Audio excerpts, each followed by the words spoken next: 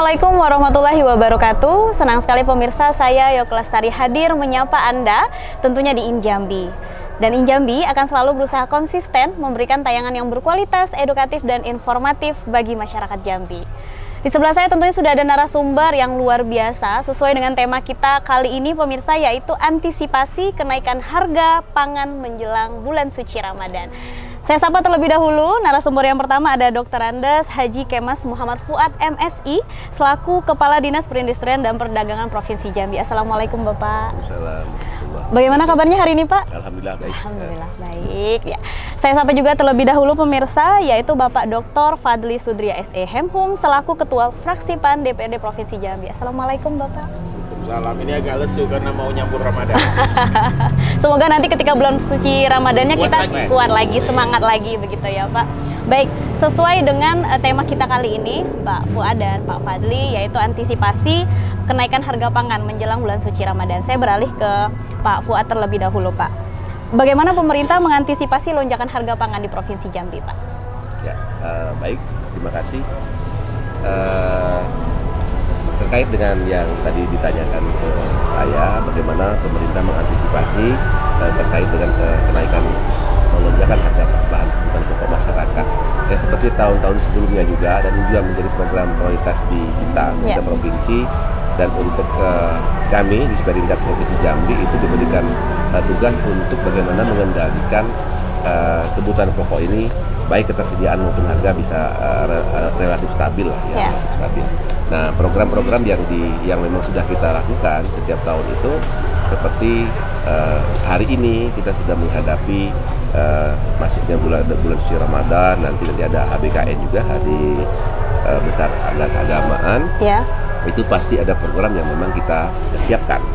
Seperti kemarin kita bersama eh, tim TPID, Pak Gubernur bersama Kompida yang terkait lainnya juga kita turun ke lokasi beberapa titik pasar yang ada di Kota Jambi itu melihat bagaimana eh, ketersediaan eh, bahan pangan tersebut. Eh, untuk kemarin kita lihat eh, trennya eh, memang beras secara secara nasional atau provinsi Jambi ada kenaikan, tetapi hari ini ada eh, kecenderungan untuk turun. baik.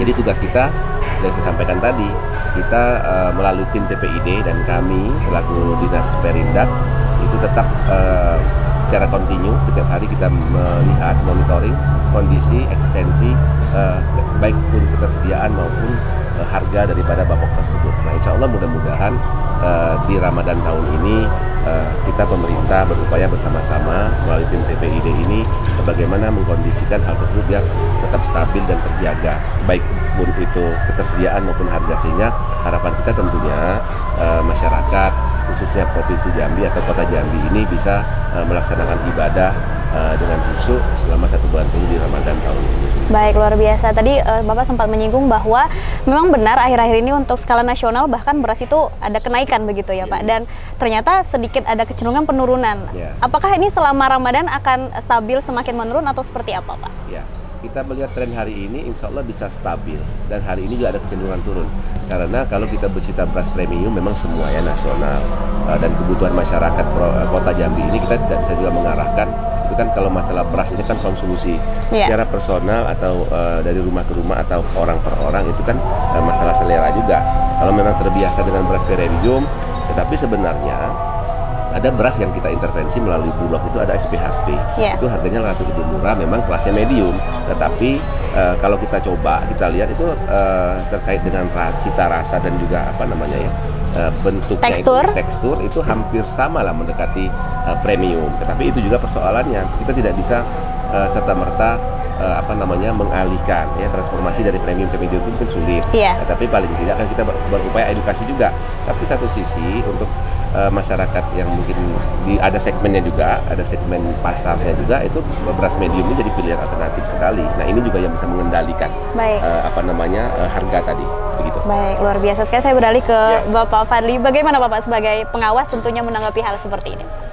Ya, Mbak Jake itu Mbak Jake ya, Yo ke Pak. Mbak Yoke. Ke- Eh, ketika kita berbicara Ramadan, ketika kita eh, berbicara persoalan Idul Fitri, ada tiga hal yang yang masalah barang yang harus kita perhatikan. Pertama adalah harga. Ya. Eh, yang pertama adalah stok barang dulu nih.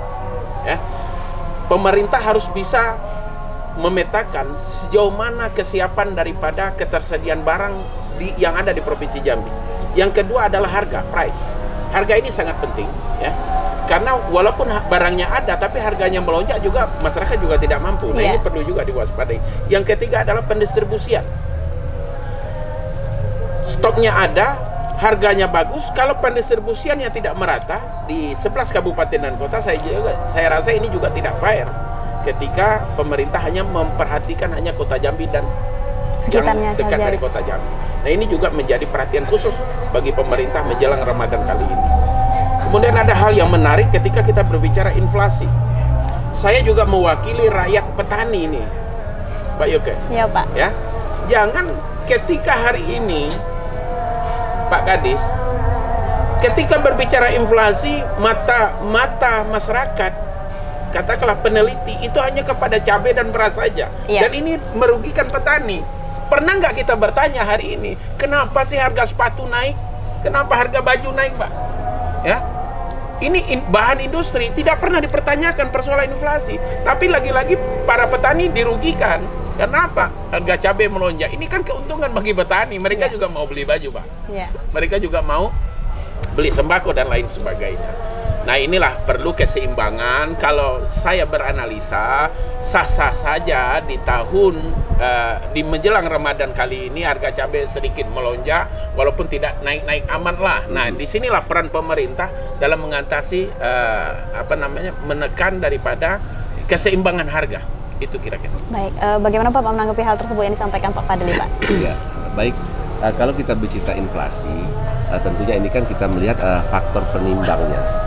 Dan memang kenapa harus selalu cabai, eh, Pak Fadli? Karena eh, cabai ini sebenarnya gimana ya? Kenapa kok cabai? Iya kan? Karena kebanyakan mungkin masyarakat kita, Pak, Iya. kalau makan tanpa sambal, tanpa cabai kurang begitu Iya. ya, Pak? Kalau beras wajar, memang kita Indonesia Pokok identik ya, dengan Pak? bahan pokok beras. Tapi kenapa muncul cabai? Nah, artinya mungkin da- ke- ketetapan dari kementerian atau dari tim TPID nasional eh, apa namanya ya? eh, kenapa harus menentukan cabai? Mungkin cabai ini kan memang merata dibutuhkan oleh seluruh masyarakat Indonesia juga, sama hampir seperti beras. Nah, sementara cabai dan beras inilah yang penimbang inflasi terbesar. Artinya kan eh, itu eh, menandakan bahwasanya eh, kebutuhan dua bahan kebutuhan pokok ini kan memang memang dibutuhkan masyarakat. Nah, Iya. sehingga inilah yang mungkin yang memang kita eh, menjadi sorotan utama yang harus kita sikapi. Dalam Baik. artian ke depannya harus tersedia sehingga dengan ketersediaan akhirnya harga akan stabil. Nah, ini yang yang memang pemerintah eh, apa namanya harus menyikapi dengan fokus. Karena memang pernah kita di tahun 2022 lalu kan Iya. kita pernah Jambi masuk dalam lima besar hampir saat nomor satu terbesar inflasinya dan faktor penyebabnya adalah cabai merah. Cabai merah. Tapi sulit. Sementara kita sendiri walaupun kita potensi wilayah kita ada, Iya. 11 kabupaten kita ada, kemudian ya Kerinci juga juga potensi, kemudian daerah marginal di tepi kota itu potensi juga untuk kita apa namanya kita maksimalkan produksi cabai tersebut, tapi juga tidak bisa memenuhi kebutuhan lokal. Karena kan sa- cabai bang spesifik, susah, nggak bisa kita prediksi kita tanam sekian, belum tentu kita panennya sekian. Iya. Lebih riskan lagi, gitu kan? Kalau beras jelas, Eh, kalau beras mungkin terkait biaya produksi mungkin dan juga kita kan beras ini kan Jambi juga belum bisa juga memenuhi kebutuhan, belum swasembada juga, masih Ya. tergantung dengan tetangga sebelah. Sementara tetangga sebelah mungkin overproduksi, tapi juga memenuhi kebutuhan ja- luar provinsi sampai ke Jawa segala macam. Jadi banyak sekali faktor yang memang eh, sama-sama menjadi PR kita ke depan. Nah terkait masalah kebutuhan eh, sandang tadi seperti sepatu dan baju juga pada hari HBKN yang akan dibutuhkan masyarakat, sebenarnya efek eh, karena ini juga tidak menjadi apa ya menjadi penimbang daripada inflasi tersebut tapi juga tanda kutip menjadi kewajiban pemerintah juga di mana apa namanya eh, kenaikan harga dari sandang tadi juga bisa kita lihat. Tetapi mungkin hukum pasar juga berlaku Eh, apabila memang kebutuhan itu meningkat. Tapi juga kon- produsen juga pasti akan melihat juga apakah dikenaikan harga ini akan kita lakukan. Itu strategi pasar lagi kan.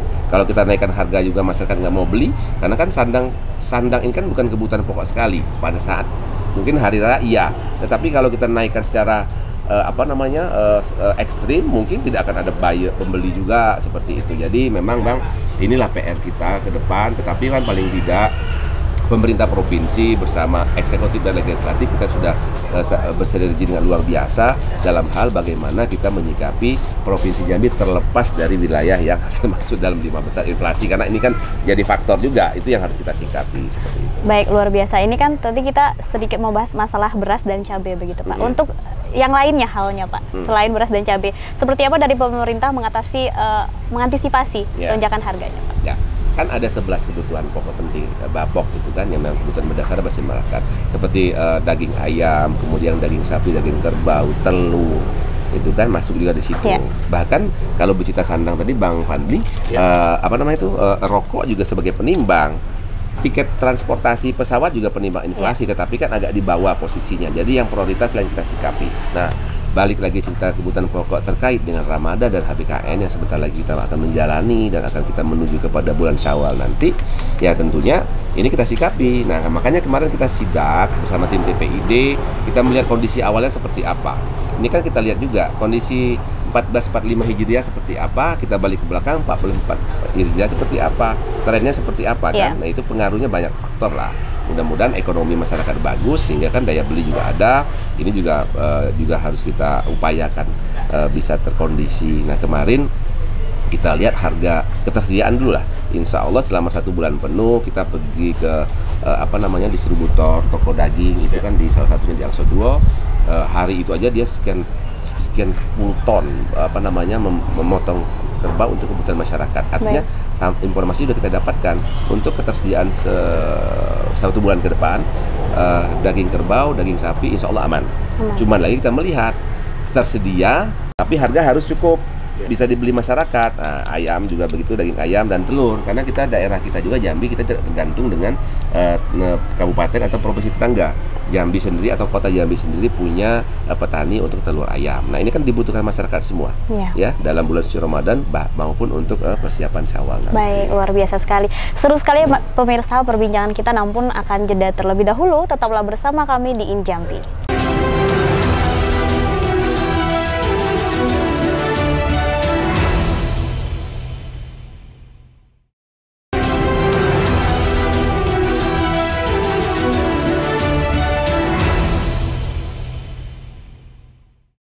Bapak Fuad dan juga Bapak Fadli Sodria. Bapak, kita masih melanjutkan perbincangan kita mengenai tema kita adalah ketersediaan pangan menjelang bulan suci Ramadan. Untuk di Jambi sendiri, Pak, di Provinsi Jambi, apakah ketersediaan pangan selain tadi kan di segmen pertama kita membahas uh, daging kerbau di Pasar Angsu 2. Untuk stok bahan pangan lain apakah tersedia dan cukup, Pak? Ya, baik, terima kasih.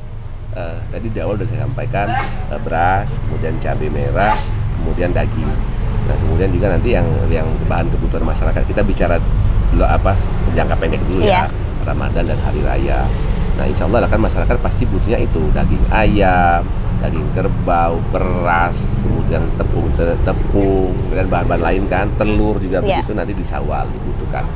Uh, itu tadi uh, hasil sidak kita memang ha, itu memang uh, apa itu uh, bukan apa ya SOP-nya begitu. Kita lihat sebelum nanti pertengahan kita lihat seperti apa di akhir kita lihat seperti apa. Nah kita sidak awal dan kita lihat uh, bagaimana kondisi pasar hari itu sebelum uh, satu hari atau dua hari sebelum memasuki bulan Ramadan. Uh, tadi saya sampaikan untuk uh, tiga tiga kebutuhan pokok seperti daging sapi kerbau cabai merah kemudian beras insya Allah bisa. Bisa artinya bisa kita penuhi karena kemarin kalau kita balik sedikit kita cabai cabai kemarin kita masih bergantung kepada masih di Sumatera yeah. nah sekarang kondisi sudah habis panen nah alhamdulillah sudah ada lagi dari Jawa yang bisa mendistribusi kita untuk kebutuhan cabai merah nah kemudian kalau terkait masalah uh, telur ayam tadi, nah alhamdulillah kan kita juga nggak bergantung kepada provinsi tetangga atau yang terdekat kan. Alhamdulillah kita di kota Jambi ini ada banyak petaninya, peternak uh, ayam potong dan juga ayam petelur. Artinya ini juga bisa apa namanya uh, memenuhi kebutuhan masyarakat. Tergantung apa namanya uh, tinggal lagi bagaimana kita tim TPID ketersediaannya sudah ada, bagaimana harganya. Jangan sampai di luar dari apa namanya jangkauan. jangkauan masyarakat kan seperti itu. Ini yang kita sikapi. Makanya kita tim kontrol tiap hari karena tim kita dari Disperindak Provinsi Bang Fadli itu yeah. sudah setiap hari standby di pasar. Dua pasar ini nah ini kan yang kita jadi apa namanya jadi uh, penimbang uh, inflasi itu ada tiga di kota Jambi itu ada pasar Angso 2, kemudian pasar Tanah Banjar, dan satu lagi pasar di Kabupaten Bungo. Nah inilah yang kita sorot setiap hari dan real time laporan kita sampaikan ke pusat TPID TPIN pusat sana hmm. kita sampaikan uh, sebelas bahan pokok tadi bagaimana tren trennya ketersediaan maupun uh, harganya. Nah insya Allah mudah-mudahan pola ini tetap kita jaga hingga nanti bisa menganti semua lah yang saya sampaikan di awal kita bisa ibadah husu tidak lagi mikirkan bagaimana ada apa enggak makanannya uh, harganya cukup uh, mahal apa enggak. Nah inilah peran kita nanti. Mudah-mudahan masyarakat bisa lebih aman dalam uh, nyaman lah nyaman dalam melaksanakan ibadah. ibadah ya Pak. Baik luar biasa. Bagaimana Bapak menanggapi hal tersebut ya. Pak? Baik terima kasih Mbak Yoke Pak Kadis Teritak uh, ini pesan daripada masyarakat ketika saya pulang kemarin. Pak kenapa harus mesti persoalan cabai dan beras saja yang menjadi patokan daripada inflasi. Dan ini tolong dipertanyakan kepada TPID katanya. Nah persoalan barang yang lain naik, harga kacang dan lain sebagainya yang bisa melakukan penimbunan-penimbunan ini juga harus menjadi perhatian khusus daripada TPID. Ya. Salah satu contoh di Provinsi Jambi, mana saja gudang yang menyediakan kebutuhan pokok lebaran dan bulan Ramadan ini salah satunya adalah kacang tanah, yeah. kemudian uh, ini tepung, gula. Dan ini juga harus menjadi sasaran. Jangan kita hanya memperhatikan uh, bahan sembako saja seperti beras dan uh, cabai, cabai saja. Ya. Nah, persoalan cabai, terutama kami di Kabupaten Kerinci ya, mewakili rakyat Kerinci, memang apa yang di, sudah distribusikan oleh pemerintah. Salah satunya adalah pupuk subsidi. Mereka tidak merasakan adanya pupuk subsidi. Dan saya tidak tahu ini penyelewengannya di mana penjualannya bagi ini yang diuntungkan adalah pedagang. Yeah. distributor ini diuntungkan. Nah petani tidak merasakan. Nah dengan naiknya harga pupuk naiknya harga apa namanya insektisida dan lain sebagainya untuk pengobatan cabai ini sebenarnya yang membuat harga cabai itu sendiri yang mahal karena biaya perawatan itu oh. sangat mahal. Jadi kalau boleh jujur ini Pak Kadis, kalau bisa harga cabai ini rata-rata 50 lah, jangan lebih jangan kurang. Nah, yang kasihan kita pada saat petani panen raya, mereka dihadapkan dengan harga 20 uh, 10 ribu dengan adanya cabai Jawa masuk ini juga tidak fair. Hmm. Nah, inilah harapan kita tapi di atas itu pun masyarakat juga tidak mampu untuk membeli gitu. Yeah. Jadi biar kita buatlah masyarakat petani kita provinsi Jambi tersenyum dengan harga Mbak UK itu 50 rata-rata sudah. Nah, di pasaran begitu ya. Hmm. Nah, itu kira-kira. Baik, luar biasa. Ini Pak, dari Disperinda Provinsi Jambi sendiri bagaimana untuk uh, mengatasi kenaikan pangan ataupun ketersediaannya Pak untuk stok nanti? Ya, dari cabai yang disampaikan uh, Pak Wali tadi. Uh, ya baik. Uh, untuk cabai atau untuk beras juga, untuk minyak goreng, untuk bawang tapi kita lihat ini eh, kita sudah sudah siapkan anggaran untuk mengintervensi. Sebenarnya kan ini tidak mengedukasi sebenarnya tapi kan karena ini memang sudah harus kita sikapi melalui TPID agar provinsi Jambi tanda kutip tidak masuk dalam uh, apa namanya daerah atau provinsi yang inflasinya tinggi. Yeah. akhirnya kita harus kita sikapi juga kan. Tapi kan ini bukan bicara hulu kalau hulu kan nanti teknis seperti bang Fadli wakil rakyat wajar bicara hulu. Tetapi apa pun ceritanya pemerintah wajib untuk mengendalikan inflasi. Nah, makanya eh, melalui kami eh, yang diberikan kepercayaan oleh Bapak pimpinan Bapak Gubernur Jambi dialokasikan anggaran untuk mengantisipasi tersebut melalui operasi pasar, Bang. Operasi ya, pasar operasi itu pasar. adalah langkah yang tepat. Ya. Uh, tapi kan nggak bagus juga apa terus-terusan. Ini kan langkah akhir. ya, yang penting hulunya sebenarnya. Maunya uh, subsidi terus ya. Uh, uh, ini kan subsidi terus jadinya. Nah, hari ini juga uh, kemarin pas kita sidak itu harga cabai merah itu di angka 60 atau 65 Nah, sebelumnya sempat 85, yeah. tapi kita pernah juga OP mendahului sebelum kita memasuki bulan suci Ramadan dua minggu yang lalu. Nah tadi hari ini kita juga OP, OP uh, eh, kita nggak nggak jor-joran. Kita lihat seperti apa trennya. Nah, hari ini hanya berapa ton ya kita kita untuk menetralisir saja lah memenuhi kebutuhan masyarakat tanda kutip. Uh, tadi kita uh, OP kan ada 8 ton yeah. untuk khusus untuk kota. Tidak kita sampaikan ke Bungo karena Bungo sepertinya aman. Nah begitu kota ya kita subsidi jadi hari ini harga cabai itu bisa di posisi tapi terpaksa di bawah 50 karena harganya 7, 60 eh, tadi Baik. tapi kan masyarakat masih uh, tanda ya? kutip berat untuk membeli harga itu karena semua kita memerlukan apa namanya ya mempersiapkan diri untuk bulan suci Ramadan kebutuhan makin banyak kan nah artinya memang situasional lah bang situasional pada hari raya Ramadan artinya kita harus intervensi. Harganya mungkin agak lebih turun dari harga standar yang diharapkan Bang Fadli dari 50 tapi mungkin di bawah 50 karena masyarakat kebutuhan banyak. Ini beda lagi cerita intervensi-intervensi sebelum di luar bulan Ramadan.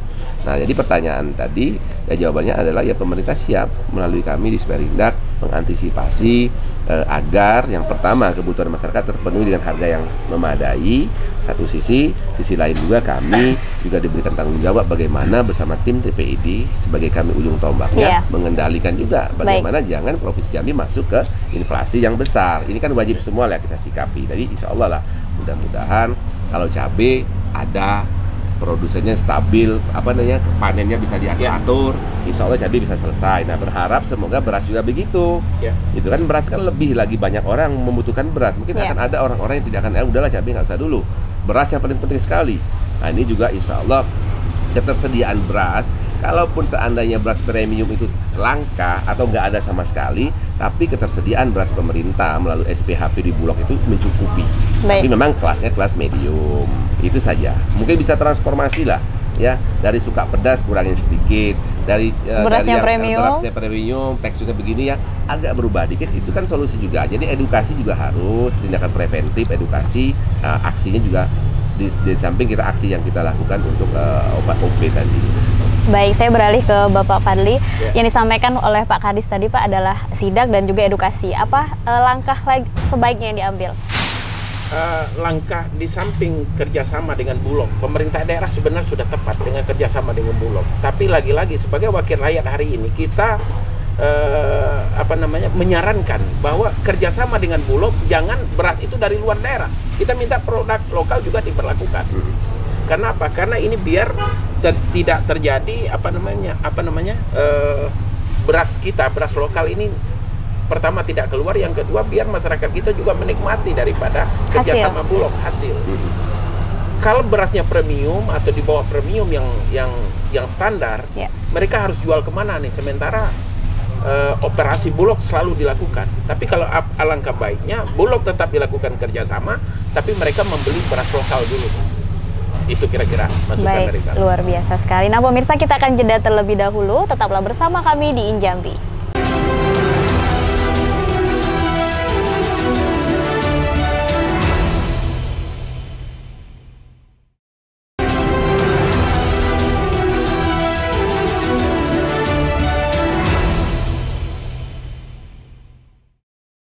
Kasih pemirsa Anda masih bersama kami di Injambi dan tentunya saya masih bersama dengan narasumber yang luar biasa. Baik Pak Fadli, uh, maaf Pak uh, Fuad, saya menanggapi uh, Pak Fadli tadi kan di segmen uh, kedua berbicara mengenai sebaiknya beras itu didatangkan dari luar uh, Sumatera tapi sebaiknya warga lokal saja. Bagaimana Bapak sebagai Pak Kadis menanggapi hal tersebut Pak? Ya baik.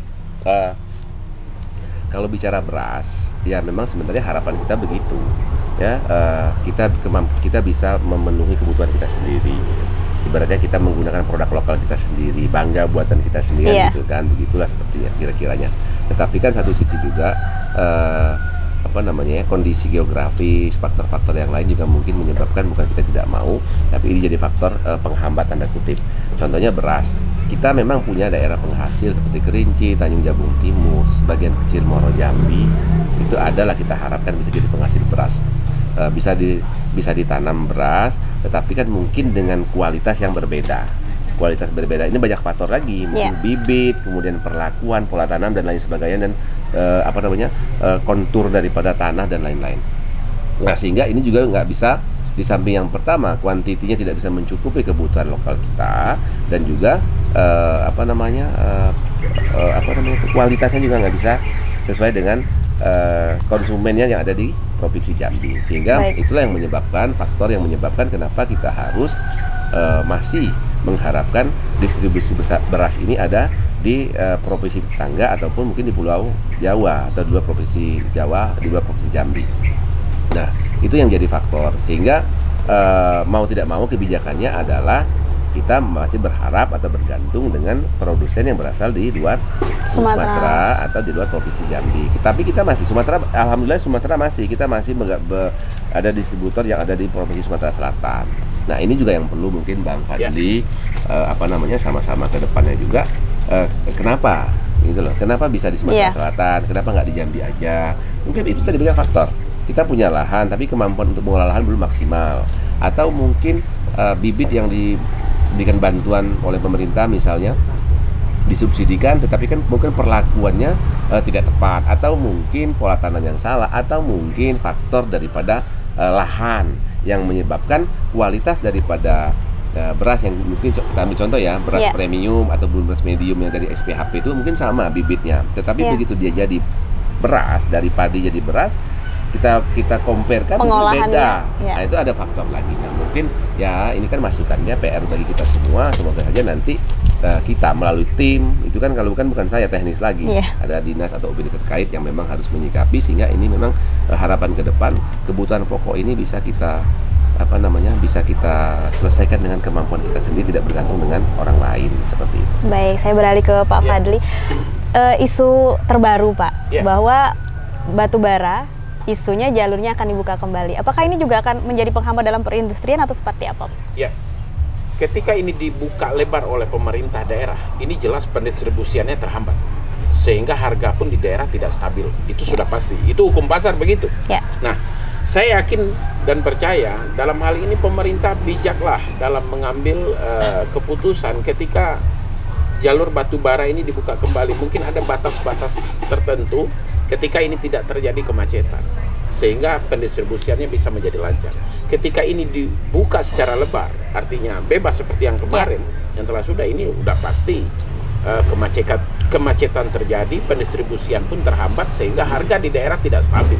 Termasuk barang yang akan masuk ke kota Jambi pun saya rasa Terhambat ya Pak? ya? terhambat karena contoh dari Kerinci ke Jambi saja bisa menembus dua hari misal.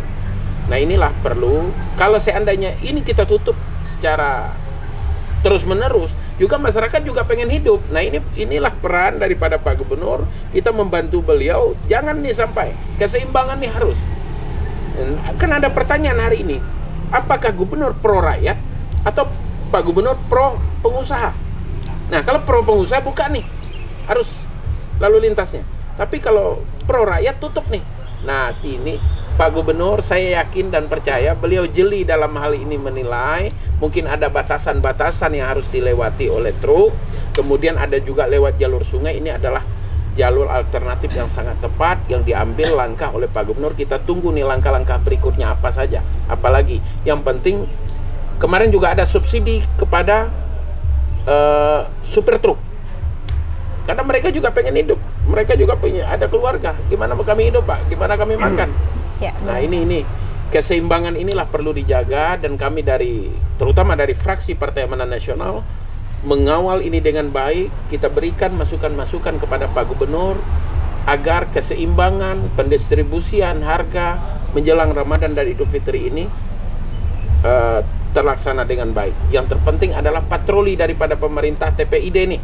Jangan ada penimbunan-penimbunan di setiap gudang sehingga harga gula, harga eh, bahan pokok lainnya termasuk minyak goreng ini melambung tinggi menjelang Idul Fitri nanti. Itu Iya. kira-kira untuk waspada. Baik, dari Bapak Kadis mengenai eh, penimbunan yang sempat disinggung oleh Pak Fadli seperti apa tanggapannya Pak? Ya, makanya kan kita juga melalui tim TPID kan kita tahu siapa pedagang yang ada di pasar dan siapa distributornya kan gitu.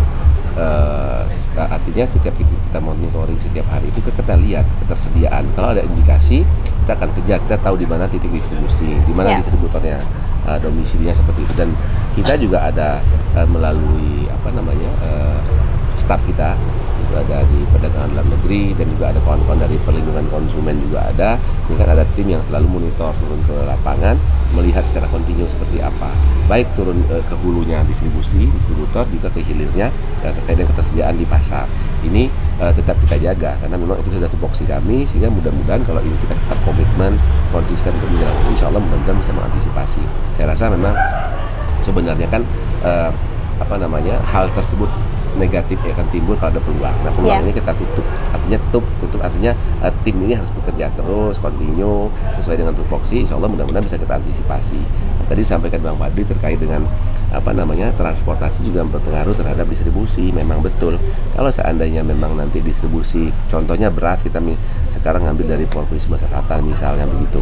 Nah artinya kalau seandainya jalur transportasi ini akan tertutup, artinya akan menghambat distribusi. Yeah. Karena ada kelangkaan dalam beberapa waktu. Nah ini juga salah satu faktor yeah. penyebab kenaikan harga. Ujung-ujungnya inflasi lagi. Yeah. Nah ini yang jadi PR kita semua sama-sama. Ya Insya Allah mudah-mudahan kami dari pemerintah dan pasti uh, pimpinan Bapak Gubernur pasti akan lebih uh, pandai mengambil satu kebijakan strategis dalam rangka tentunya semua terperangkul, semua bisa terakomodir. Satu sisi kita ngambil kebijakan jangan sampai nanti terimbas yang lain juga karena semuanya masyarakat juga.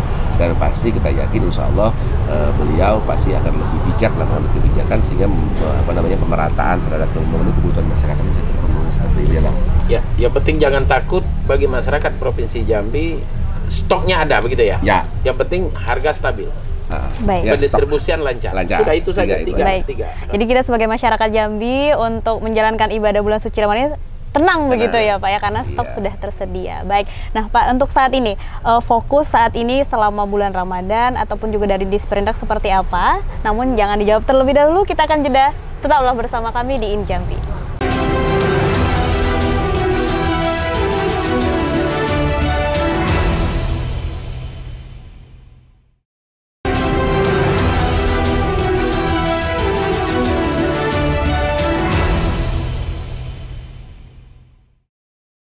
Baik pemirsa, terima kasih Anda masih bersama kami di Injami dan uh, saya ke Pak Fuad tadi sempat terpotong ya Pak yang saya tanyakan uh, apa yang menjadi fokus saat ini dari Disperindak Provinsi Jambi menjelang bulan suci Ramadan ataupun bulan Hari Raya.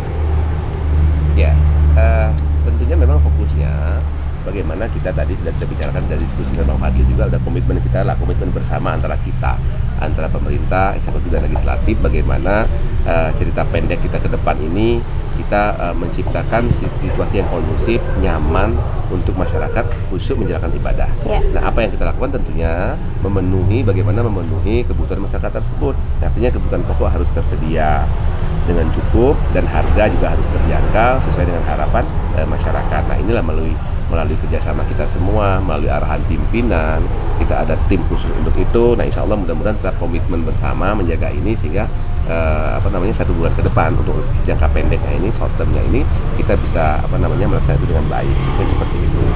Baik, closing statement ya. Bapak sebagai Ketua Fraksi eh, PAN DPRD Provinsi Jambi, seperti apa Bapak melihat hal ini dan apa harapannya Pak? Uh, harapan saya ke depan menjelang uh, di Ramadan kali ini dan menjelang satu Sawal nanti pertama adalah operasi pasar yang dilakukan oleh pemerintah ini adalah langkah yang tepat.